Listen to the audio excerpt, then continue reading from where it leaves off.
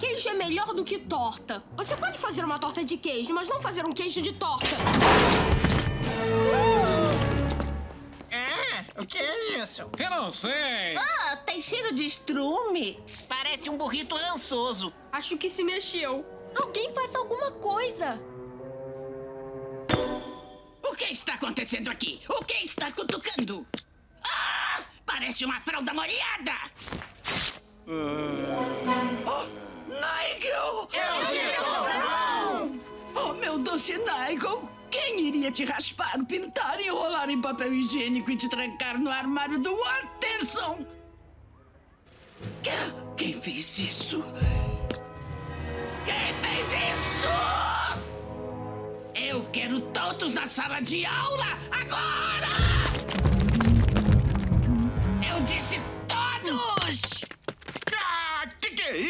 Isso? Parece uma... Eu sei o que parece! Eu vou levar o diretor Brown para a enfermaria. Enfermaria. Venha, Nigel!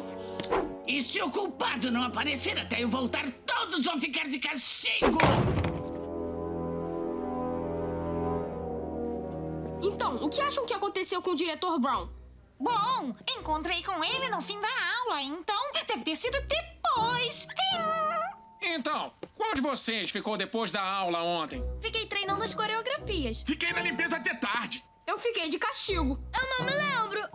Então todos vocês são suspeitos. Ah, qual é? É claro que foi o Gumball. É, Brown foi encontrado no armário dele.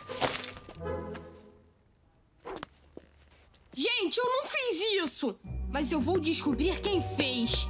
E acho que sei exatamente como. Quem fez isso, levanta a mão! Legal. Então, quem não fez, levanta a mão!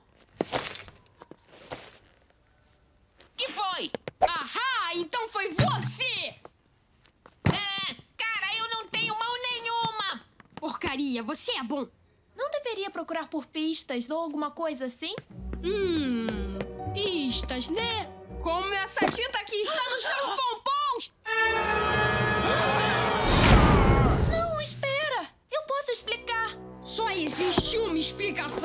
um crime passional. O que quer dizer? Sabia que o diretor Brown me deixou de castigo ontem à noite. E sufocada por seus sentimentos por mim, enfrentou ele na diretoria. Por favor, deixa ele ir. Eu amo o diretor Brown. Ele é um trapaceiro. Mas ele é tão nobre, forte, bravo e lindo. Ele é tão lindo. Talvez ele seja o garoto mais. Mais bonito da escola. Gumball, você já viu a sua foto no anuário? Sem interrupções, por favor.